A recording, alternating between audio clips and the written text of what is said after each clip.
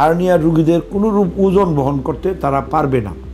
একটা হলেও দ্বিতীয়টা হওয়ার ঝুঁকি বহন করে, একটা অপারেশন হলেও পুনরায় আবারও পাঁচ সাত বছর পর এরকম ঝুঁকি বহন করতে পারে। কারণ ওটার ভিতরে একটা নেট দিয়ে অপারেশন করা হয়, ওখান থেকেও কিছু ইনফেকশন হতে পারে।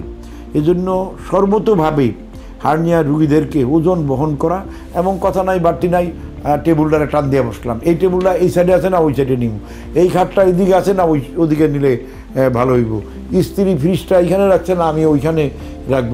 এই ধরনের এক মন মানসিকতার রুগীদের বেশি হার্নিয়া হয়। যারা কোনো কিছুর ভিতরেই খুশি হইতে পারে না, ডাইন সাইডে রাখব না বাই সাইডে রাখব চেয়ারটা পূর্ব দিকে রাখব না, পশ্চিম দিকে রাখব।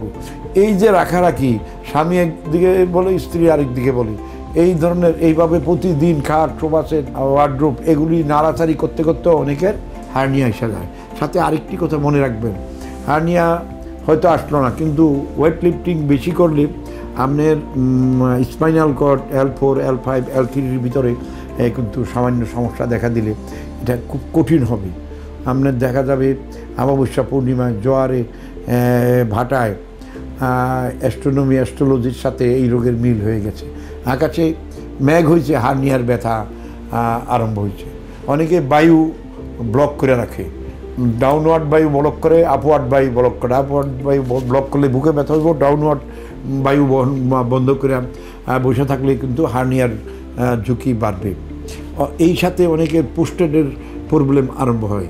পোস্টেডের ঝুঁকি আরম্ভ হয়। প্রস্রাবের নালী মোটা হয়ে যায় চবড়ি বেশি জমে যায় প্রস্রাব বের হতে চায় না।